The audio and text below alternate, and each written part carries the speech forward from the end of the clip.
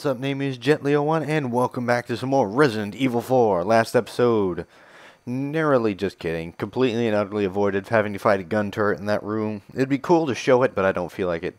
And now it's time for a puzzle. Sacrifice of six lives shall make away the true path. So this puzzle's interesting. You've got to flip over the things until you equal up to six people dead. That's six. So whatever I just did, you can copy that if you want it. But you basically need two singles and two twos. That's the only way you can do that. Handgun ammo and money. Only both of those were worthless, actually. I take that back. And costume change. What Sup, Napoleon? Surprise. But I'm afraid it's Ashley we need. Not you, Mr. Kennedy. Mr. Kennedy. Get off my back, old man! Old Did man. you say old man, Mr. Kennedy? It might He's not come as a old. surprise, He's ancient. but I'm only 20 years old. So you're just like all the others? A puppet of the parasites? Surely you don't think I'm the same as those diminutive ganados. The parasites, las plagas, are slaves to my will. I have absolute control. Well, that's great. Now, Leon, why aren't you shooting him in the face? He just admitted that you needed to shoot him in the face. We have scythes and crossbows. Your guns are useless against us. Which would be true, except that this is not an RPG. This is an action game, and in action games, RPG rules don't apply. In which case, that means the guns win. The only game I can think of that it's not like that is Devil May Cry. And that's just because the only gun I can really think of mostly from Devil May Cry is Ebony and Ivory. And those aren't very strong. They're great for combos like juggles and stuff, but they will not deal you the damage you want. The trap. Ow. Okay. You need to watch out. Those guys up there, double rocket launchers. And that's what we refer to in the gaming business as instant kill. Let's wreck 'em. What you got? Oh right, I forgot. I was meaning to show off the riot gun. Shotgun time. Well, this last guy, if he would stop running. Hello? Are you done? Yes, you are. I would say that you're done. Alright. Uh, he's done. These guys up here still exist, so you need to be careful. I forgot what triggers them. Security system. Deactivate? Yes.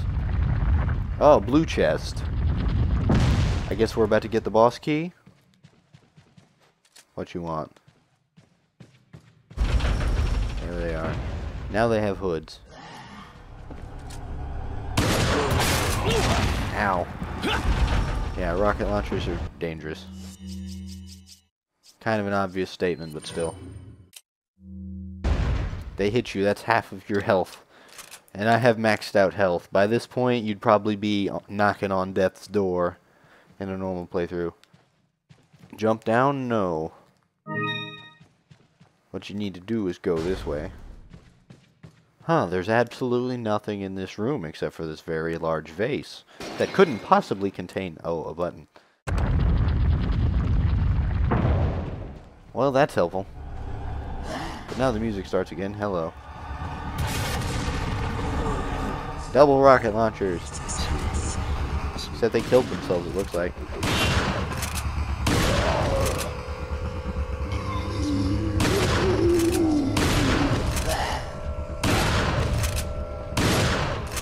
That does it. See, that's what they were talking about. This gun is pretty long range. Just floor them.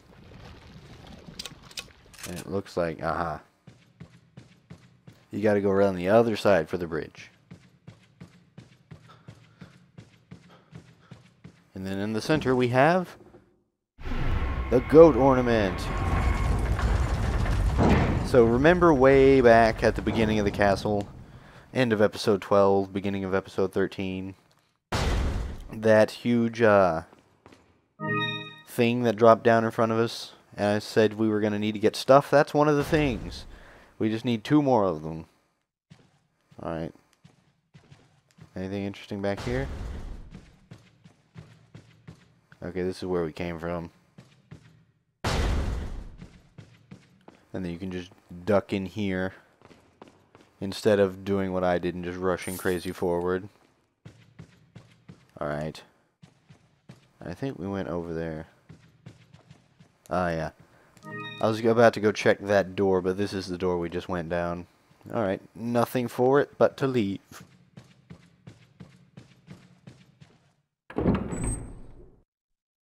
And funnily enough, that rocket launcher guy behind the painting is probably now trapped there for all eternity.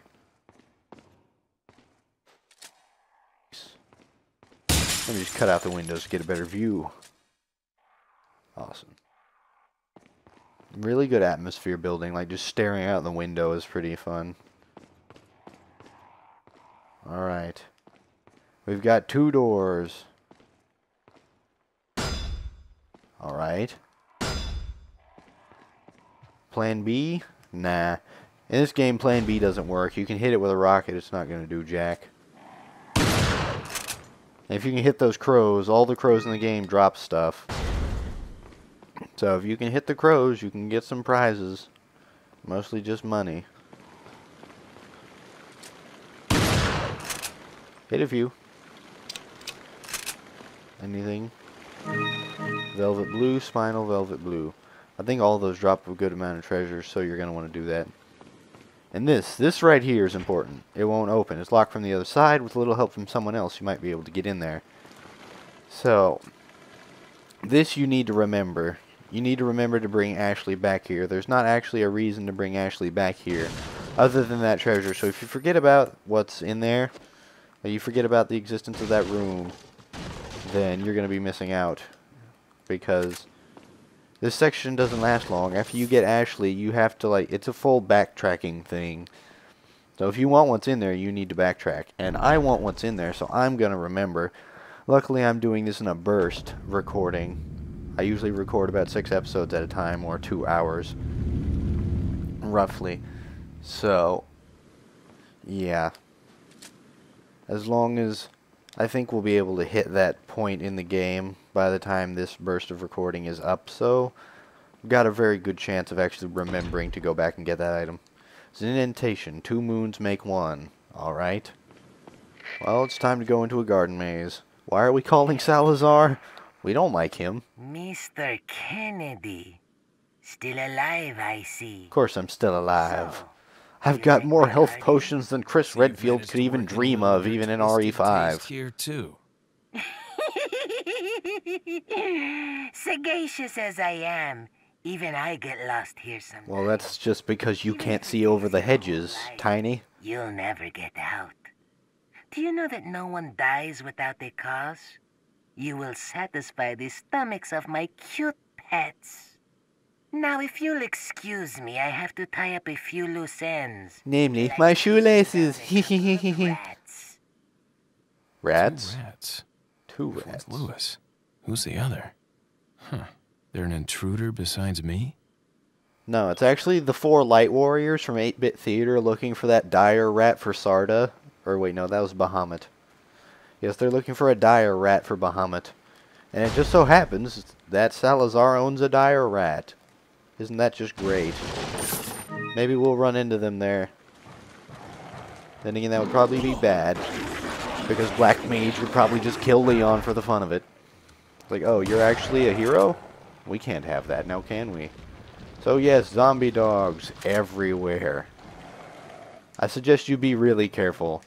First time playing through this game didn't scare me very much, but this was the section that actually scared me. Just because there's one bit where there's a dog and it can jump through the bushes and like I was not expecting that.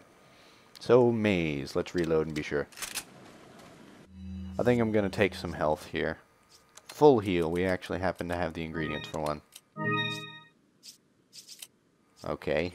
Cooperate, controller. Alright. Let's get a vantage on this maze. Okay. Haven't been that way. Wait. Yes, I have. That's where I have been. Where I need to get is down here. There's one of the things we need.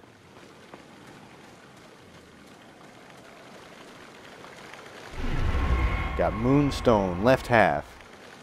If we get the other half, we can evolve a Pokemon. I think it's about... Yeah, right here. No! Curse you, slow fire rate! I almost managed to escape that completely with no damage. Alright, next, go this way. Jackal TMP ammo. I think that I think it I just realized that that was a joke from the developers because they put the ammo that has a dog on it in the section with all the zombie dogs. And that's just brilliant. I hear one. Where are you? Don't dodge me.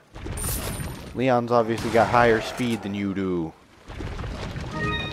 He's got a higher level and a promoted class. Do you, Risen, really think you can take him on? Alright. You weren't supposed to break down the door that fast. And you're also not supposed to tank multiple bullets. That was three shots. How tough are you? It's obviously the leader of the dog pack right there. It's the alpha wolf. What do we got here? Is this what I was looking for? Yes. That moment scared. Or wait, no. There was. It was a different one where it's like really unexpected. Uh, wolf jumping out. I think it was like right here. Like this dog jumped through right there while I was walking back, and it scared me. I think I can still hear some. No, hold up. Alrighty, then how do I get back here? Okay. Here's a yellow. This is going to be important first playthrough. It's over by that first dog cage. You just go to the right. Except I goofed it up. You got to go over here and then up the stairs to get your second piece. Got Moonstone right half. Let's go. Oh. Keys, treasures. And combine. Got the blue moonstone. Only find one of those every once in a blue moon, her her. Let's leave the dogs behind. Just kidding, there aren't any left. I'm pretty sure I killed them all. Just reload two shells. It's the only way that that animation is relevant. Because that's a funny thing. Have you ever noticed that, like, in Res even in Resident Evil 5 and 6 and this game, you reload like two shells into the shotgun and then it reloads like 20 at once. So, yeah. Got the Blue Moon Stone, used it. Alright. Cutscene time. Well, well. Put your hands where I can see them. Sorry. You can already see them. You have just isn't 20/20 vision. style. Put them up now. Ninjutsu skills. But you forget she's also a ninja.